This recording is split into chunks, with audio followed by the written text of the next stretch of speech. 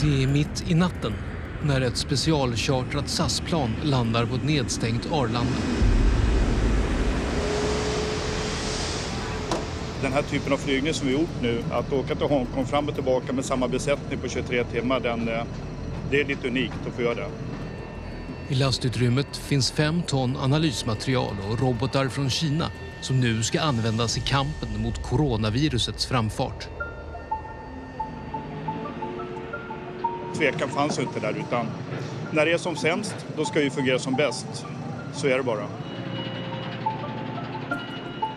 Under en tid nu har det kommit larmrapporter om att testutrustningen i Sverige är på väg att ta slut. Och redan för några veckor sedan påbörjades arbetet med att utöka labbkapaciteten vid universiteten och att säkra leveransen från Kina.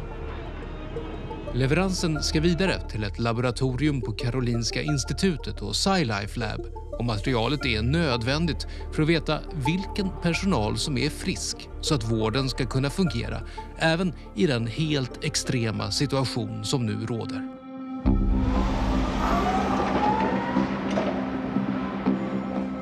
Det är tidig morgon när Lars Engstrand, professor i smittskydd, kommer till hangaren på Arlanda. Det är Lars och hans team som genom sina nära kontakter med ett forskningsinstitut i Kina får till beställningen. Och i den alltså reagenserna, de ämnen som är avgörande för att kunna se om prov innehåller covid-19. Frankrike, Tyskland, Spanien, alla ville ha de här för att reagenserna som normalt används för det här tog slut i Europa. Det har ju varit nästan som en Bondfilm det här att få, få hem det här. Nu kom det ju i natt och, eh, efter att vi har haft mycket diskussioner om hur det ska skeppas ut från Kina. Det stängdes gränser där nere, men det känns ju bra nu när det, när det är här. Projektet har möjliggjorts genom en donation från Knut och Alice Wallenbergs stiftelse till SciLife Lab som nu kommer att kunna femdubbla sin kapacitet att utföra analyser. Och man har rekordsnabbt byggt upp ett laboratorium där forskarna nu står redo.